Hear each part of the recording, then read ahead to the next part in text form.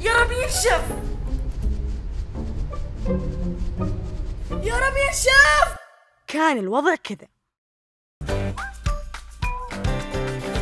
وصار كذا.